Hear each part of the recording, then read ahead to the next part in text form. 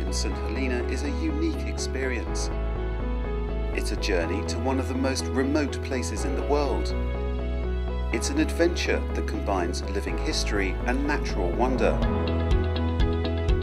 Most of all, it's a holiday you won't forget and will want to share with friends and family. Every single day brought new experiences. There wasn't a day we thought, oh, what do we do today? And it just, there was just so much to see and do and experience.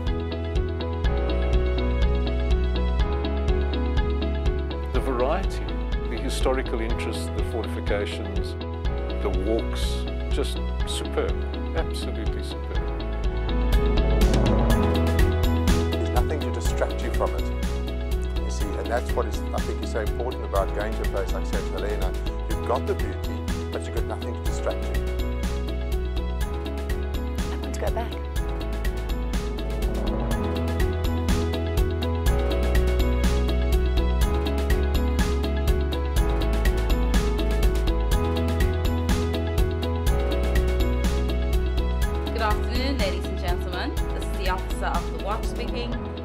Are today's navigational points of interest from the bridge.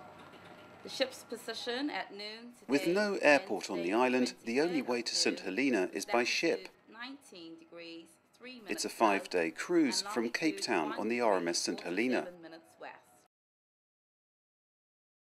And finally, results from today's South Atlantic cricket match. The officers went in first to bat. And Despite being a working ship, passengers experience a high level of comfort. There's plenty to do and plenty to eat, or they can just choose to sit and relax. Uh, the big struggle, of course, is the food. I think there's so much excellent food that uh, I'm going to have to take up some exercise, I think.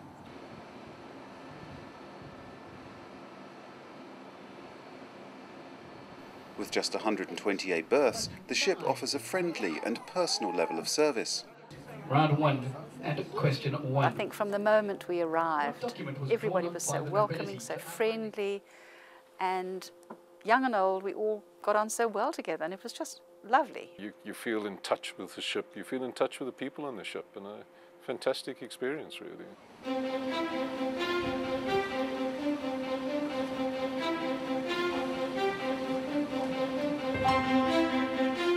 So long at sea, arriving at the island provides a moment of real excitement.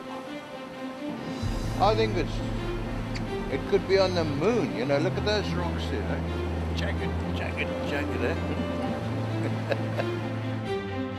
St is often described as an emerald set in bronze.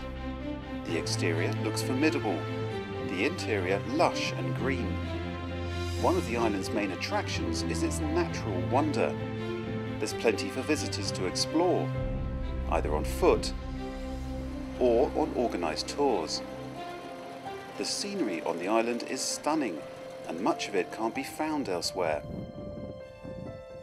You know, is such an isolated outpost that you have a combination of, of, of island evolution and extinction elsewhere around the world. And, and the, the flora around you is totally unique. It's, it's, it's endemic. So the proportion endemicity up here is, is, is really quite considerable. So wherever you look, you're looking at a plant or an animal that you probably won't see anywhere else in the world.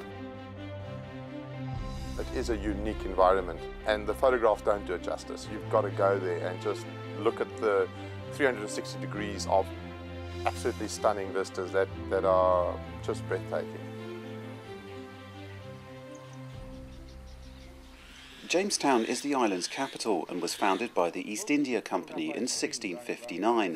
Where you're standing now, uh, this would have been Royal Beach. It's full of living history. By the time they got it here, it, it was out of control. So they got the passengers ashore, but they scuttled the ship. The people are a legacy of the many different races that have passed through, enriching island culture. After the abolition of slavery in the 1830s, everything went into the melting pot to make, our, to make islanders. When you think that St. Helena was on the main trade route to the Far East, I mean, that speaks for itself. Because before Suez, uh, any, anybody who was going to the Far East would, would come to St. Helena. So um, it's, it's steeped in history for all sorts of reasons. You only need to look at, at it on the faces of the people. to see all the different racial characteristics. We've had American whalers here, we've had uh, Africans here from the slave trade, and that slave trade has made St. Helena so colorful. We have Chinese influence, Malaysian influence, uh, Madagascan, Portuguese influence, no settlers, but all the same, the influence, and again, the British. I mean, St. Helenians um, culture is very colonial still. It's a very important part of our history. I mean, since the East India Company period, when the island was settled straight through to Queen Victoria, and even now the sense of colonialism is still very strong. St Helena's most famous resident wasn't British, of course. French Emperor Napoleon Bonaparte was exiled in St Helena following defeat at the Battle of Waterloo. Both his homes on the island Briars Pavilion and Longwood House are well preserved and offer an intimate view of the great leader's final days. Napoleon took his penknife to cut holes in the shutters to spy out on his guards instead of his guards spying in on him. It's, it's a real piece of living history. You know, it's not just reading about it in a book, it's seeing it come alive. What makes St Helena so interesting is that much of the island's history remains to be discovered. Before the construction of the Suez Canal, St Helena was a vital stopping point for ocean ships. The island was effectively a fortress run by the East India Company. The batteries up here are in incredibly good state considering most of them come from the 17, 1700s. They were built to last. High Knoll Fort overlooks Jamestown it's another site where history comes to life. On average, the outer walls are between 1.5 and 2 metres thick.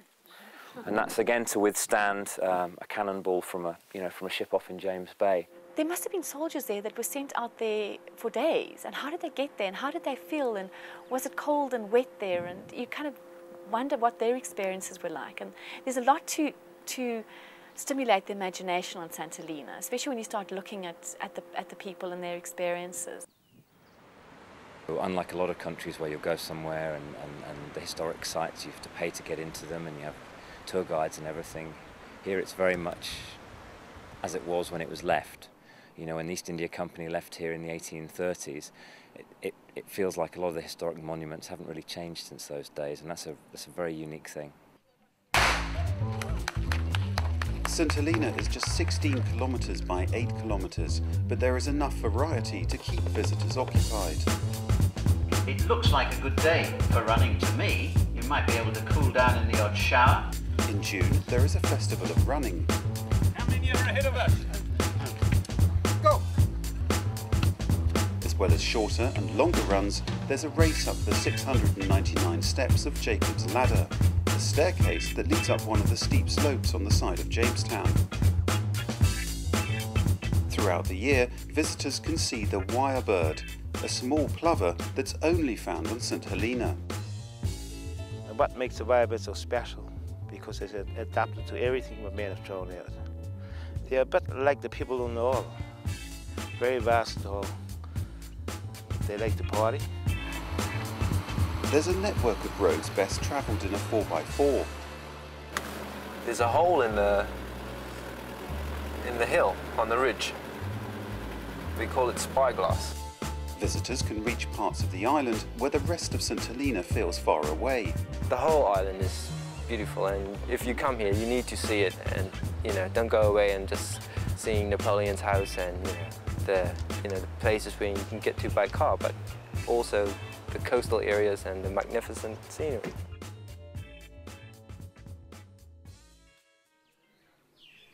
Today, St Helena enjoys the status of British Overseas Territory. A governor is appointed by the UK and islanders elect councillors. The governor's house is open to the public for viewing on certain days. Wellington here, he stopped off, he came and spent a night on the island in 1805 in its grounds live tortoises. Jonathan is reckoned to be nearly 200 years old. I think it's unique. I know a lot of places in the world claim that, but there aren't many places that are quite as isolated or quite as spectacular when you actually get here. A a lot of people return, having been here once, that they find that there's so much more to see.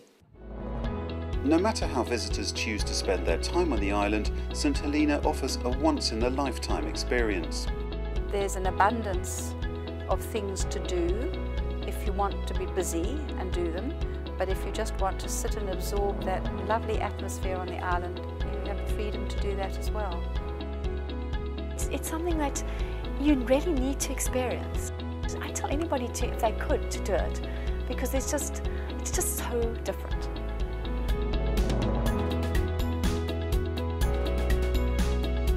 Words can't really do it justice. You're going to have to go there for yourself. It's beyond description.